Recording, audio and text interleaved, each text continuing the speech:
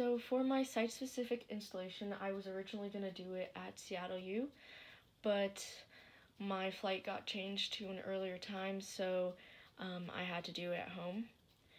And so for my research um, and inspiration, um, I looked at um, books and bookshelves because I've seen some pieces where the artist would use um, the space in between those books uh, to create um, some sort of scene or town. Um, so I thought it would be cool to kind of experiment with that idea. And before this, I had, um, I was going towards a more naturey kind of vibe. So um, I kind of implemented that into my project as well with the birds. Um, and I thought it would be kind of a cool um, contradiction to um, whatever the shelves would be holding. So I decided to look at birds, um, and birds are known to be very resourceful. So um, I thought that would be interesting showing them in this kind of setting. Um, for my development, I decided to um, use a CD shelf that I have at home um, as my site and um, I wanted to kind of show um, the bird, the birds um, in that um, enclosure, and um, yeah. So for my site, um, again, I used my CD shelf in my house, and there's a variety of music in those shelves, and it's just all the CDs that my parents have collected over the years. Um, and the lighting is from uh, light bulbs on the ceiling as well as natural light coming from the windows.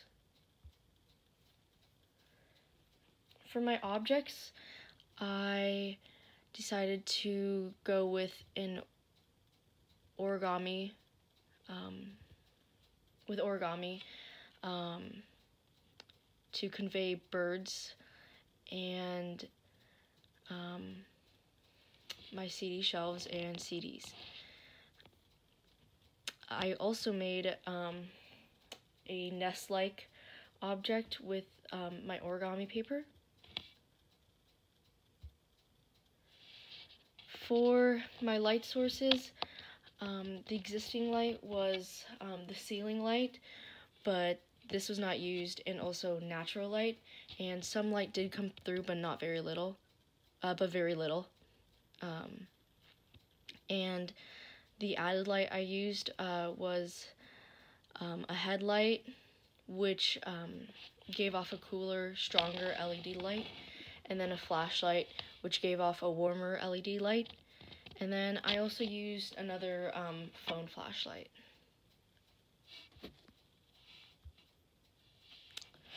So this was my setup and um, I just thought it would be it was cool to space them out. And um, I tried a couple different um, setups but I chose this one because I just liked um, the compositional element of it. And I feel like it also gives off a um, um, a message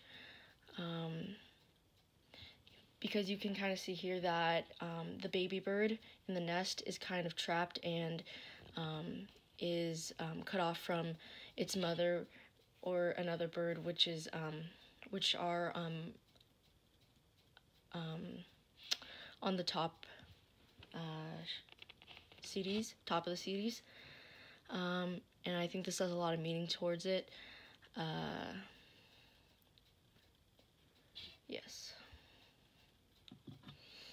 So the, these were my first um, two pictures, and um, I just really like these because of the um, reflection the CDs gave off, um, and the way it lit up the birds, um, especially the um, the rightmost bird.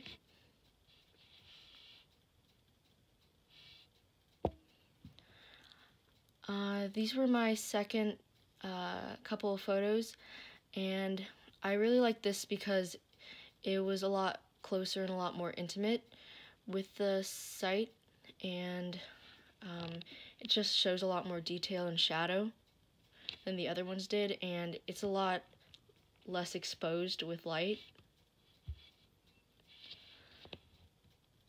The this is my next couple of photos. Um, and um, this time they're at different angles and I just thought this was cool because um, the lighting is um, a downlight. So you can kind of see that the shadow of the CDs they kind of block off um, any light that comes that would come down onto the um, baby bird.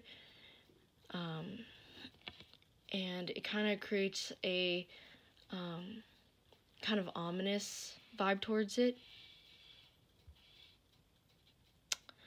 And um, my next couple photos um, is from a side angle camera position.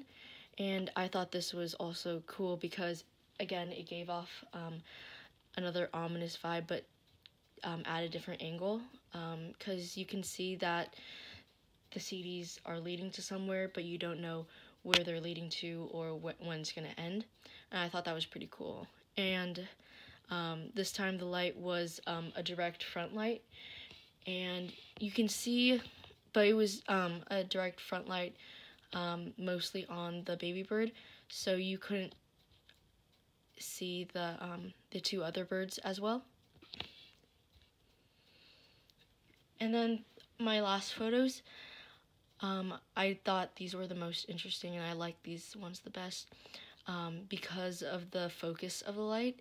It kind of creates a focal point towards just that one shelf and um, I think it's really cool the way the um, light reflects off just a certain spot of on the um, on the CDs and yeah it just um, brings the um, the focus and the um, audience's eye to the center of that picture. And so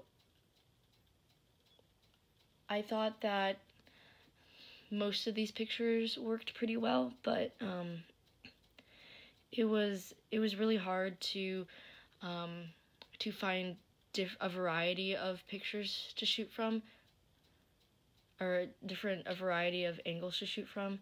And um, it was hard to create like variety. Um, but I tried to use um, mostly um, contrasting CD colors to the blue birds to make them pop out more, which I thought really worked because you can clearly see um, the blue the bluebirds, um, and um, I discovered that it takes a lot of time and it takes a lot of thinking to um, make a type of installation like this, and um, the more meaning there is to it, uh, the better outcome you're going to get. And thank you for watching.